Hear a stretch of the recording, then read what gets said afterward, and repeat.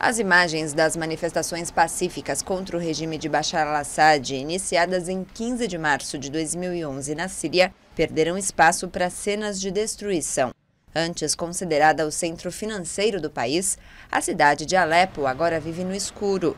A estimativa é de que 97% das luzes que iluminavam as noites no antigo polo econômico estejam danificadas. A revolta do povo, que ganhou um caráter militar ante a repressão do governo, virou uma guerra civil complexa.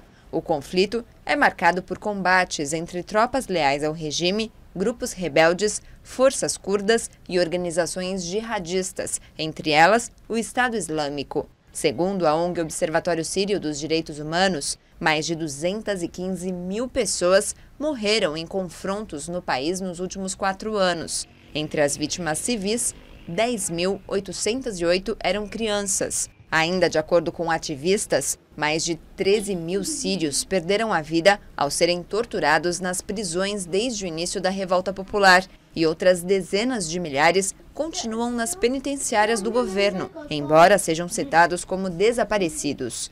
Mais de 7 milhões de moradores tiveram de abandonar as casas, o que representa metade do número de habitantes. Quase 60% da população vivem na pobreza.